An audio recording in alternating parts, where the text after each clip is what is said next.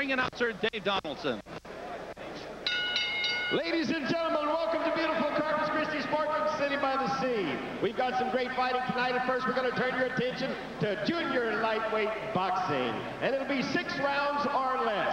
In the red corner, wearing the black and the gold, with a record of two, three, and one, from Albuquerque, New Mexico, at 130 pounds, let's welcome Chris.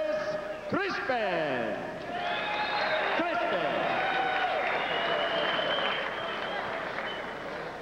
In the blue corner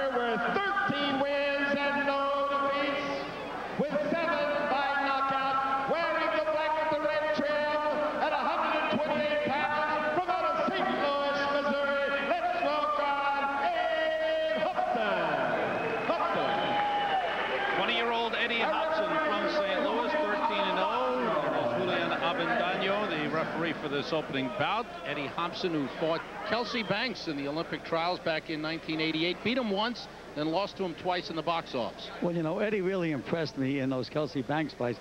And I was wondering what happened to him, but Lou Duva spoke to me, said they're bringing this kid along very, very slowly because he's a super talent. Talented, fast hands, can punch hard, and we'll get a look at him in the scheduled six-rounder. Chris Crespin, 21 years old, born in New Mexico, in Los Lunas, comes out of Albuquerque now. And we'll switch back and forth. He's a natural right-hander, but go to the left and down from the first punch. Hopson's first punch sends Crespin down. He's up quickly. And Sam was a perfect straight left hand from a southpaw stance. Beautiful punch by Eddie Hopson.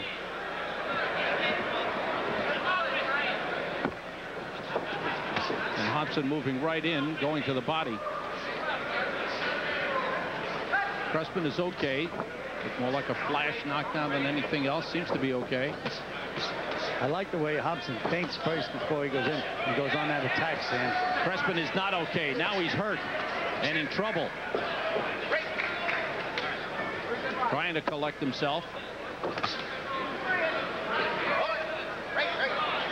Eddie Hopson. You see Hopson feint first before he goes on the attack. His last fight was July 27th on the undercard of Pernell Whitaker Poli Diaz in Norfolk, Virginia, and he scored a first round knockout in that one. And he's on the attack here against Chris Crespin. Crespin trying to turn things around on Hopson. I don't think Crespin has landed a punch in the fight, Sam.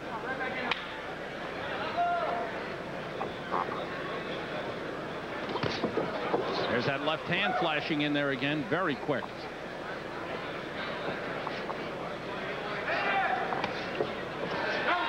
Crespin off balance with that lunging right hand.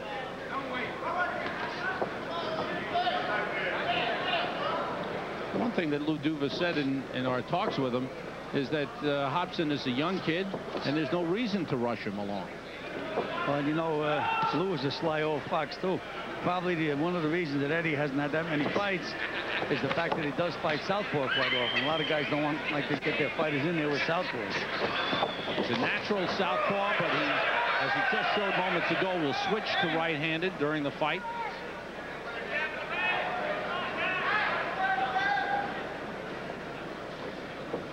Hopson looking for the opening, not wasting punches. That left hand has been solid. Straight left again.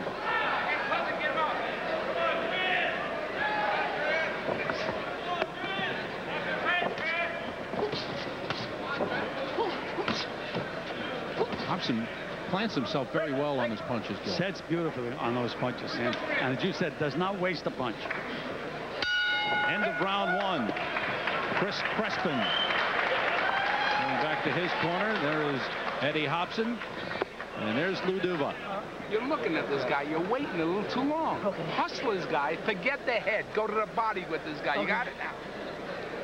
This guy doesn't step much with his jabs. Stay up a little bit closer. Let that jab go over his shoulder. Now watch him bust the ribs first. He's got a hard head.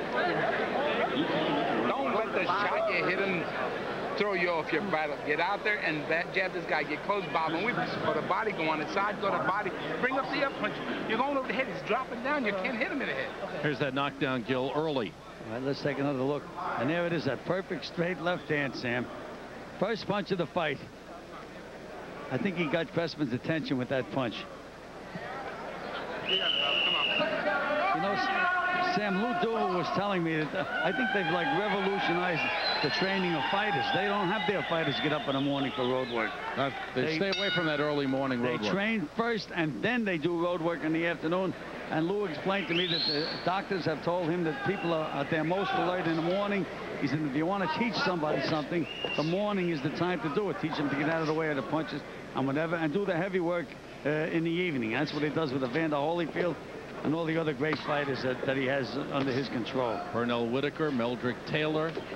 And this is a very good-looking prospect right here. Eddie Hopson turned pro at the age of 17. Says his boxing idols were Muhammad Ali, Sugar Ray Robinson, and Sugar Ray Leonard. I said, Sugar Ray Robinson? He said, yeah, I watched a lot of tapes, a lot of film of Sugar Ray Robinson. Said he loved his precision. Sam, if you, if you ever watch tapes of uh, Sugar Ray Robinson, you were watching poetry in motion. He could do it all. Crespin has been lunging with his right hand. Well, he seems to be completely puzzled in there with, Eddie Hopson, whether it's the fact that Hopson's a southpaw or just too talented for him. I guess it's a combination of both. Hopson just moving in with arms down, almost daring Crespin to throw something at him. Hopson looks much stronger than Crespin. This is round two scheduled for six. Banging the body nicely with that right hand underneath.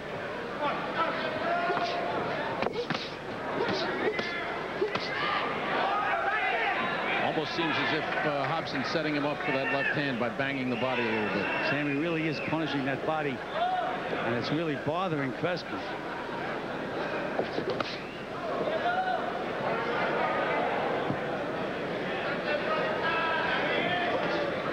Hopson has fought six times. This is his sixth fight of 1991, so they're keeping him busy.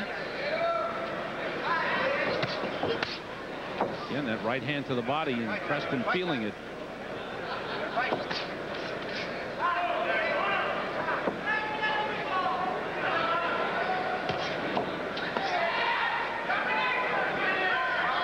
Sam Hopson looks in excellent condition as well. Bouncing on those legs, Looks like he's really enjoying himself in there. Much faster than Crespin.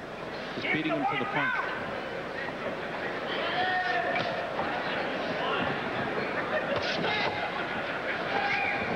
Time winding down in the second round.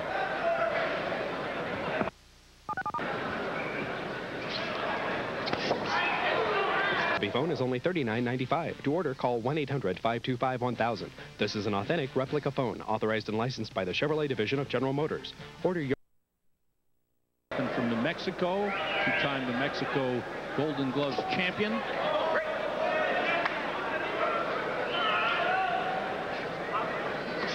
Been also involved in kickboxing and karate on an amateur level, competing in both sports. Hopson moving in, banging away with both hands. Got good hand speed, Gil. Good hand speed, good control of his weight with his legs, Sam. He's in, he's out, just puts you in punching range when he wants it, then takes himself out of punching range with those good legs that he has. There he is skipping back again. This is Hopson's 14th fight. It's a scheduled six-rounder. They feel he's ready to move up to eight rounds. He was pushed back. Seemed to, like Crespin may have stepped on his foot. He was off balance.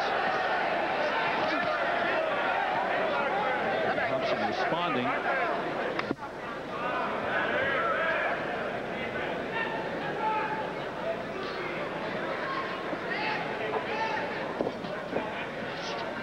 Anything, any similarities to his, in his style with uh, Pernell Whitaker? Absolutely, Sam. I was just, I knew you were going to say Pernell Whitaker and not Sugar Ray Robinson or anybody else. Same cutie, same southpaw style, moves in and out, side to side on those legs. That's a junior. He must have boxed a lot of rounds with Pernell Whitaker. No question.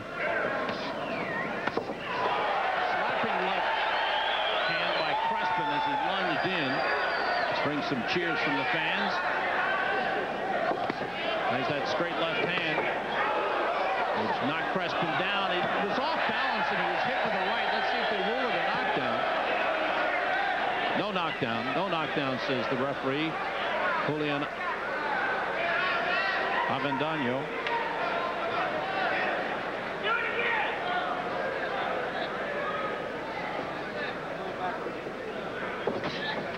Hopson will do some of his training in St. Louis and then go to Virginia and train with the rest of the Duva stable. Well, I asked him if he's into that early morning routine. I said, Yeah. and I said, you know, you usually train in St. Louis. He said, well, sometimes early in the morning and sometimes regular training routine. Look at those hands and banging away to the body as well. He trained with Roger Bloodworth in St. Louis, then with Georgie Benton and Ronnie Shields and Lou Duva in Virginia. Again, that lunging left hand by Crespin.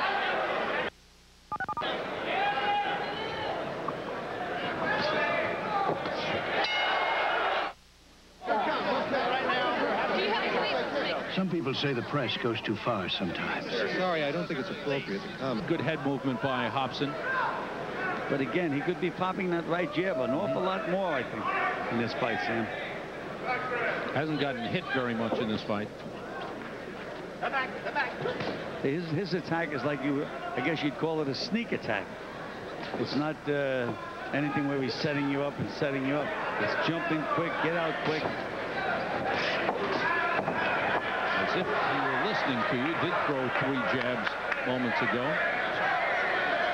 A lot of swelling underneath and around the right eye of Chris Crespin.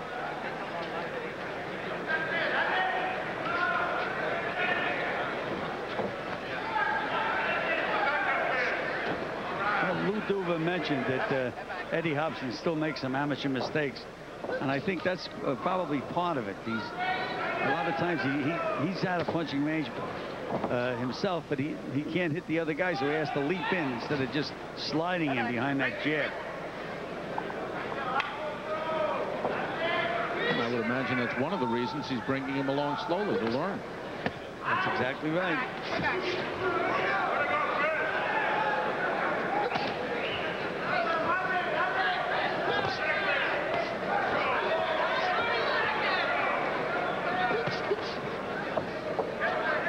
Crespin was down in the first round from a straight left hand. The first punch that Hopson threw. Flash knockdown. That's been the only knockdown of the fight. Hopson has been in total control. Has gotten hit with a couple of right hands from Crespin.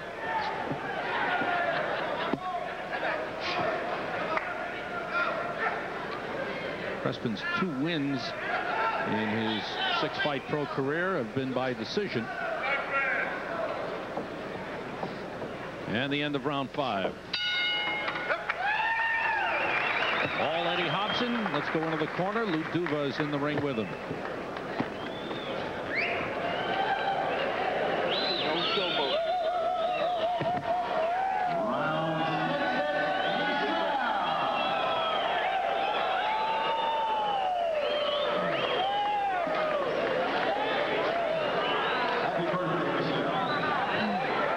But here, coach.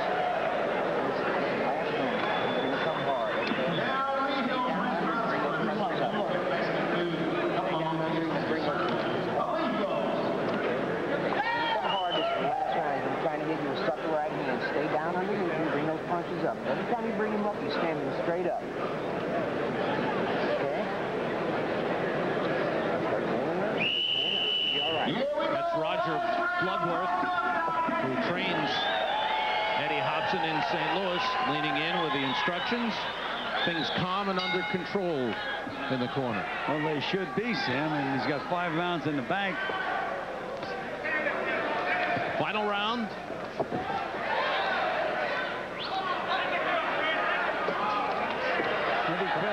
Should try kicking him, Sam. I wonder how that would work. I think he would uh, catch Hopson by surprise, Gil, in this one.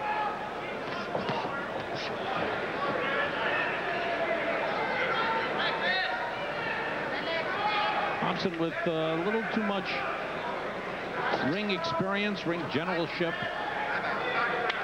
Nice moves in the ring for Crespin. Crespin has not been able to hit him very much.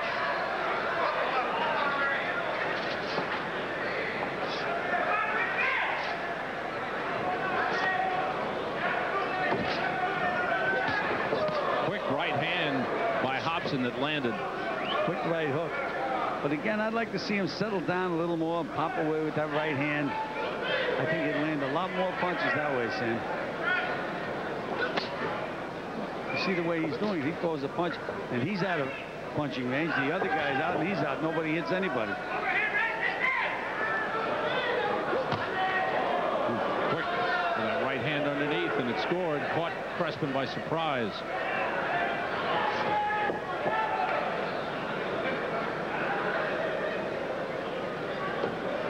Hopson showing some nice moves, good footwork, good hand speed, good foot speed.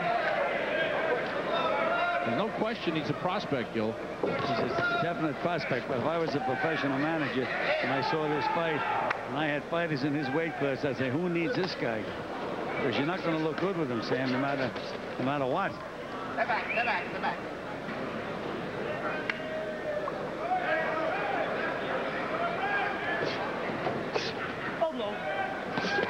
Tough to hit. And coming back quickly with three right hands. The last right hook, a good one.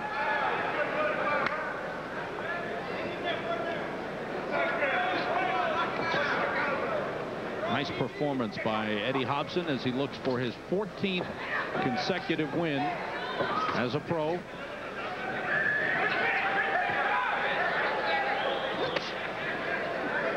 I think he could box Crespin 20 rounds and not lose a round, Sam.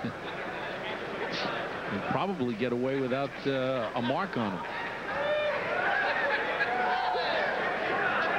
Tried that right uppercut from long distance.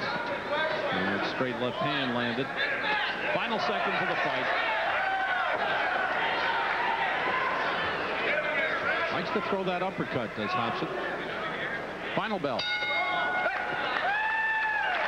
Looks like a shutout from this vantage point. Absolutely. 20-year-old Eddie Hopson from St. Louis, Missouri, out of the Duva stable. A junior lightweight with a lot of promise.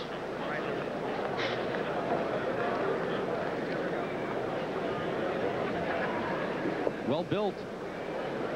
He's 5'5", 128 pounds. Former national Golden Gloves champion. We mentioned in the 88 Olympic trials defeated Kelsey Banks and then in the Olympic box offs to make the team. Banks beat him twice in close decisions.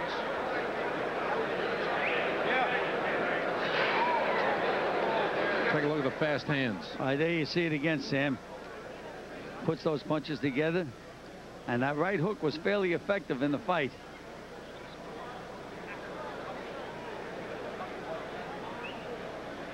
See him moving on those legs while he's punching, Sam? It's not just punching. He's setting the guy up beautifully because he's moving at the same time he's punching. Throwing a lot of punches. Busy fighter. Cards have been collected. Dave Donaldson has the official announcement for us. Ladies and gentlemen, we have a unanimous decision. All three judges scored 60-53. Our winner in the blue corner, Ed Hopson. A shutout for the young man from St. Louis. Eddie Hopson now 14 and 0 with a solid performance. And how'd you like that backflip? Look good.